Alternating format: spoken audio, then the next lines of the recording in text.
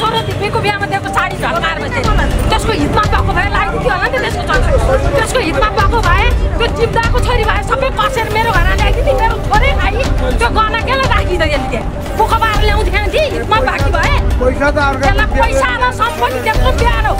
मेरो छोरो चाहिँ त्यसलाई त्यस्तो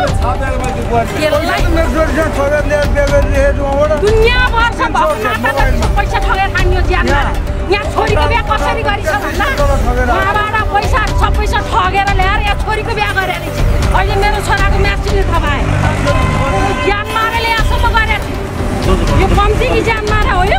यो ढल्केर यहाँ बस्ने यसलाई लाज छ कि छैन अलिकता हैसियत हुनु पऱ्यो नि त्यहाँ भन्दा पैसा त अर्का पैसा ल्याएको कतिसम्मको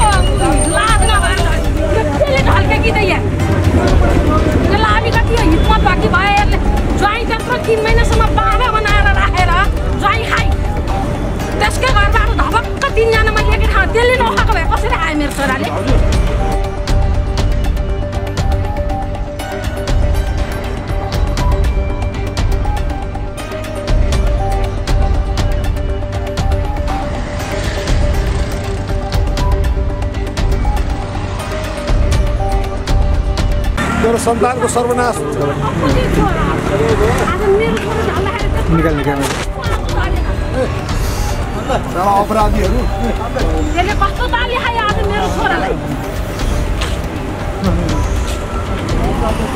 अब यहाँ राख्नु भएन।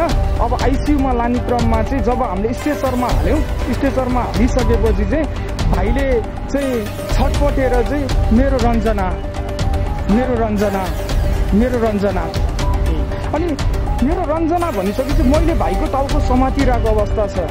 मे- मेरो भाइको टाउको मैले समातेको छु अनि त्यो रञ्जना मैनाली भन्ने पछाडि पछाडि छ। रञ्जना मैनाली उहाँसँग हुनुहुन्थ्यो पछाडि थियो। उहीसँग थियो तर उसले कुनै स्टेसरको चाहिँ कुनै पनि डन्डीहरू त्यो स्टेसर भन्ने चिजलाई समातेको थिएन।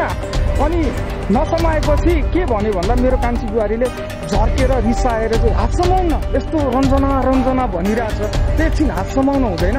भन्दाखेरि चाहिँ बिस्तारै गएर त्यो अचेत अवस्थाको मान्छेलाई म यहीँ छु म यहीँ छु।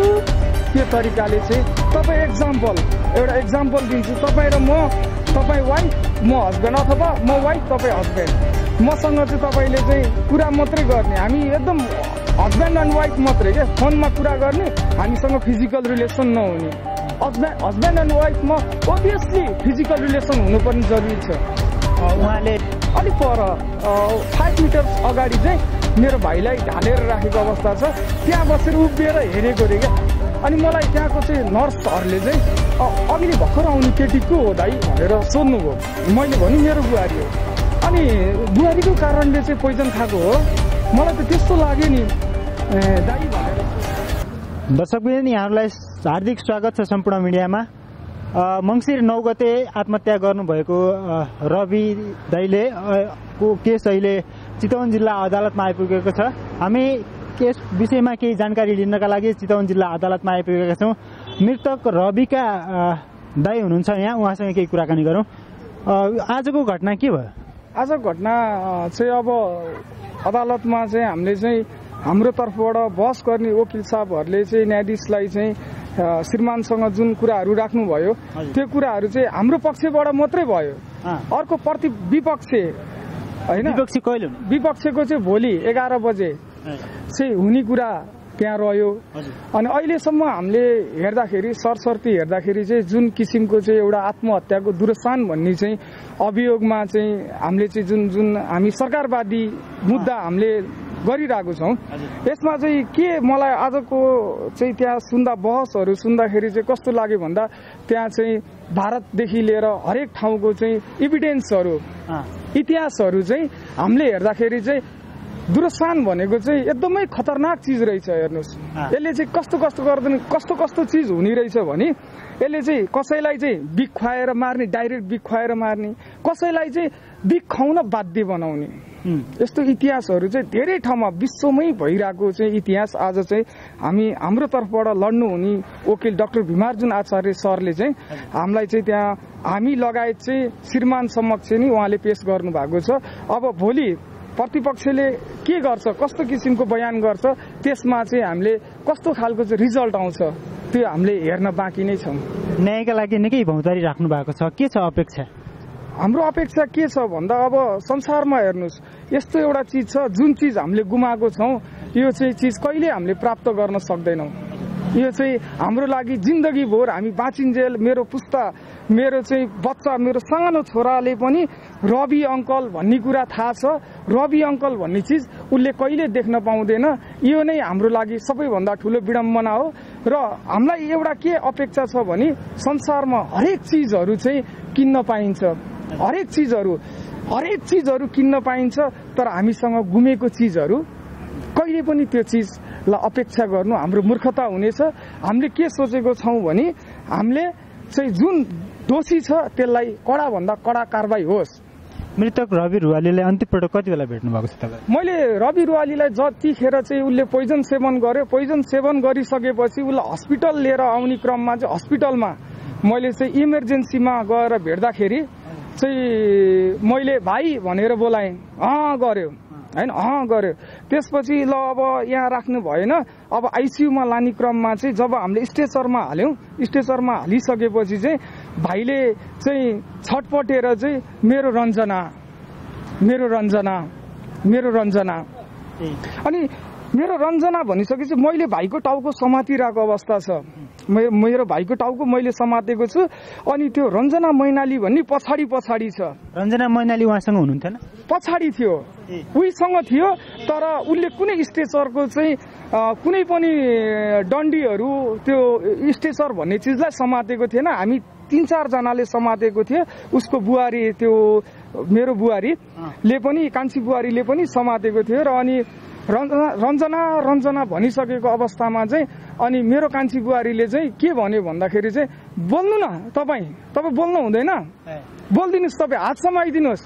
तपाईँको स्नेहले पनि केही हुन सक्छ मान अहिले के चिज छ भने संसारमा चाहिँ मैले देखेको र मैले अध्ययन गरेको अनुसार चाहिँ कसैलाई एकदम पीडा हुन्छ कोही बिरामी छ भने आफ्नो आफन्तले एकदम माया गर्ने व्यक्तिले चाहिँ त्यसको हात समाउँदा पनि आदि पीडा निको हुन्छ। भन्ने चाहिँ एउटा फिलोसोफी त्यति बेला रञ्जनाले उहाँको हात समात्नु भएको भएन। भएन। अनि नसमाएपछि के भन्यो भन्दा मेरो कान्छी बुहारीले झर्केर रिसाएर चाहिँ हात समाउन। न यस्तो रञ्जना रञ्जना भनिरहेछ। त एकछिन हात समाउनु हुँदैन। भन्दाखेरि चाहिँ बिस्तारै गएर त्यो अचेत अवस्थाको मान्छेलाई म यहीँ छु। म यहीँ छु।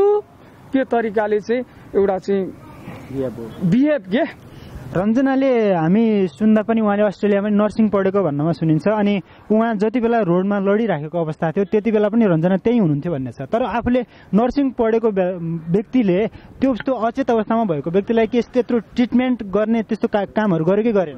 त्यो केही पनि गरेन। त्यो के संसारमा सबैभन्दा ठुलो ज्ञान भनेको प्रेम नै हो। बुझ्नुभयो? या डक्टर पढेर पनि केही त्यस्तो मलाई केही लाग्दैन। जोसँग ज्ञान छ जोसँग प्रेम छ त्योसँग मात्रै जोसँग प्रेम छ जोसँग आत्मासँग आत्मामा चाहिँ भगवान्को बास हुन्छ त्यसले मात्रै प्रेम र सत्कार गर्न सक्छ भन्ने फिलोसोफी त्यहाँ प्रयोग भएन। मात्रै त्यो डिफ्रेन्स हो। ऊबाट त्यस्तो खालको प्रेम लभ भन्ने चिजै उसको चाहिँ कुनै पनि चाहिँ कुनै पनि सेन्समा नो लभ। कुनै किसिमको लभै थिएन क्या मैले जिन्दगीमा म यति उमेरको भए आइएम थर्टी इयर्स ओल्ड होइन? म अडतिस वर्षको भएँ। मैले जिन्दगीमा त्यस्तो खालको लेडिज चाहिँ अहिलेसम्म संसारमा कहिले देखेको थिइनँ। म धेरै धेरै बाहिर बसेँ। मैले बाहिर बस्ने क्रममा पनि एउटा केटी साथी थियो मसँग काम गर्ने सँगै एकै ठाउँमा। राति रुनी हेर्नुहोस्। गुवा गुवा रुनी। किन रोइस् त भन्दा हेर्नुहोस् हजुर हेर लोक म चाहिँ मेरो चाहिँ म काम गर्छु। मसँग सम्बन्ध राख्ने मान्छेहरू धेरै छ तर मेरो लाइफ मैले स्पेन्ड गर्ने कोही पनि मान्छे पाइनँ असल व्यक्ति। अनि मैले उसलाई भन्थेँ उसलाई चाहिँ सान्त्वना दिनको आई एम हियर म यहाँ छु। मसँग यत्रो शरीर छ मसँग ज्ञान छ। I have skillful manpower don't worry I am here भनेर मैले भन्दाखेरि चाहिँ उसले के भन्थ्यो तँसँग पैसा छैन। जोसँग पैसा छ त्योसँग म प्रेम गर्छु। चाहे चाहिँ मेरो यति खुट्टा नभएको हस्बेन्ड होस् he can be old man उसँग ऊ बुढो होस्। तर उसँग पैसा चाहियो he must have bank balance he must have lot of property Ravi दाई सेयर गर्नुहुन्छ? तपाईँसँग कुराहरू सेयर गर्नुहुन्छ? रविले सेयर गरेको भए त यस्तो खालको घट्नै घट्दैन थियो ऊ चाहिँ एउटा ब्लाइन्ड एउटा श्रीमतीको बारेमा केही पनि भन्नुहुन्थ्यो नथिङ यस्तो छ एउटा म फिलोसफी पनि जोडिदिन्छु या। के छ भन्दा मेरो भाइले एउटा के गर्यो भन्दा एउटा लभमा चाहिँ ब्लाइन्ड भयो। यो संसारमा जोसुकै पनि हुन्छ। ओसोले एउटा चिज भनेको छ don't become seeker after love otherwise the death will knock at your door मेरो भाइले यदि त्यो चिज सेयर हामीसँग गरिदिएको भए यस्तो यस्तो दाईहरूले यसको समस्याको समाधान गर्दैन थियो गर्थे गर्दैन थियो होला। तपाईँलाई कस्तो लाग्छ? पक्कै पनि गर्थ्यो होला। त्यो आत्महत्या पनि आफैमा एउटा गलत चिज हो। गलत चिज तर आत्महत्या गराउनु पनि दुरुस्सान गराउनु पनि त्यो झन् ठुलो। गलत चिज हो। हेर्नुहोस् यो संसारमा क्या। बुझ्नुभयो नि? यो संसारमा आत्महत्या गर्नु गलत र गराउन उसलाई बाध्यता बनाउनु त्यो झन् ठुलो महागलत। त्यसलाई चाहिँ त्यसको पछाडि चाहिँ तपाईँहरूलाई के लाग्छ? के चाहिँ हुनसक्छ केही आफ्नो एनालाइसिस आफ्नो डिपार्टमेन्ट मेरो एनालाइसिसमा के छ भने अब यो यो संसारमा छ नि ब्रदर जोडिएको छ। यो भोलिसँग जोडिया छ कि यो? तपाईँ र म तपाईँ एक्जाम्पल एउटा एक्जाम्पल दिन्छु। तपाईँ र म तपाईँ वाइफ म हस्बेन्ड अथवा म वाइफ तपाईँ हस्बेन्ड मसँग चाहिँ तपाईँले चाहिँ कुरा मात्रै गर्ने। हामी एकदम हस्बेन्ड एन्ड वाइफ मात्रै क्या फोनमा कुरा गर्ने हामीसँग फिजिकल रिलेसन नहुने। हस्बेन्ड हस्बेन्ड एन्ड वाइफमा ओभियसली फिजिकल रिलेसन हुनुपर्ने जरुरी छ। उहाँले बयानमा पनि त्यही भन्नुभएको छ। मसँग परम्परा यही हो। यो संसारको परम्परा यो हो। नत्र त मानव जीवन भन्ने नै छैन। एउटा प्रश्न सोध्न चाहे। उहाँले बयानमा पनि मसँग शारीरिक सम्बन्ध राख्न खोज्यो। मैले इन्कार गरिदिएँ। त्यसपछि हाम्रो यस्तो किसिमको ऊ भयो। झगडा बढ्दै गयो भन्ने किसिमको भन्नुभएको छ। यदि उहाँसँग त्यस्तो सम्बन्ध थिएन भने उहाँको माइती पक्षले त्यसरी उहाँलाई घरमा राख्न राख्न सक्ने थिए भन्नु। मैले त्यही त ब्रदर म म आफै अचम्म परेको छु कि यो विषयमा। कस्तो खालको परिवार हो? कस्तो खालको आमा बुवा हो? आमा बुवा मात्रै भएर भएन के? संस्कार हुनुपर्छ त्यो घरमा। आफ्नो छोरी आफ्नो ज्वाइँको घरमा पहिलोचोटि नपठाउने घरबाट गएको क- कुन संस्कारमा बाँचेको छ त्यो फ्यामिली मलाई त्यो विषयमा एकदम डिपली स्टडी गर्ने मेरो इच्छा छ। कस्तो संस्कार छ त्यो घरको भन्ने विषयमा एकदमै म चिन्तित छु।